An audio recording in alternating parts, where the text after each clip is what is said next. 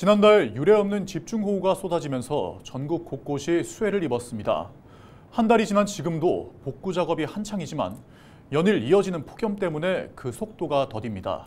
네, 일상으로 돌아가는 것이 늦어지는 주민들은 답답하기만 합니다. 서희동 기자입니다. 경북 안동에서 고추 농사를 짓는 천영수 씨. 지난 집중호우에 마을 하천이 범람하고 산골짜기로 토사가 밀려오며 밭에 큰 피해를 봤지만 한 달이 지난 지금까지도 치우지 못하고 있습니다. 한낮의 더위를 피해 오전에 밭일을 잠깐 하고 나면 야외 활동을 하기 힘든 땡볕 더위가 닥치기 때문입니다. 너무나 더워갖고 아침 일찍이 나왔다가 낮에는 이제 좀 쉬었고 그리고 오후 다시 넘어가지고 또 밭에 나와요.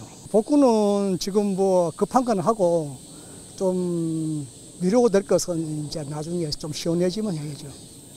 지난달 폭우 피해로 특별 재난 지역에 지정된 안동시에서도 피해 규모가 컸던 임동면 대곡리.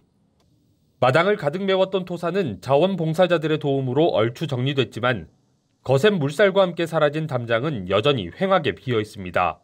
저 자원봉사들이 막 왔어 왔어 했어요. 뭐 밭도 다 다 비었잖 이게 다 비었는데 그것도 복구한다고 막 했어요. 그런데 우리 영아 한 마리 몸이 아프는 담으는 주고 뭐또 해야 되는데 뭐안 주고 뭐 엄두가 안 나가지고 이래가 있어요.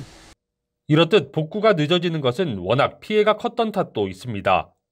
하지만 무엇보다 수해를 본 지역 대부분이 고령화된 농촌 마을이라 일손이 부족하고 한낮에 건강을 위협하는 폭염까지 계속되고 있기 때문입니다. 하천과 제방 등 지자체가 담당하는 기반시설 복구 역시 한낮의 더위에는 작업자들의 건강을 해칠 우려가 있어 중단하는 상황. 계속해서 전국 곳곳에 강한 비를 뿌리는 집중호우가 이어지고 있고 태풍까지 발생할 수 있어 빠른 복구가 필요하지만 무더위가 발목을 잡습니다. 안동시는 자연재해에 대비해 편성해둔 본예산 1억 4,400만 원을 투입해 호우 피해를 본 주택과 소상공인에게 재난지원금을 선지급하며 복구 지원에 나섰습니다.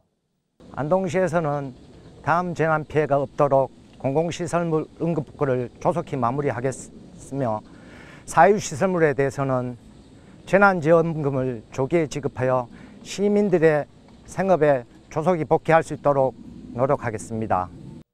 폭우로 삶의 터전을 잃은 지역민들은 가만히 있어도 땀이 흐르는 폭염 속에 계속해서 힘겨운 나날을 보내고 있습니다. 헬로티비 뉴스 서희동입니다.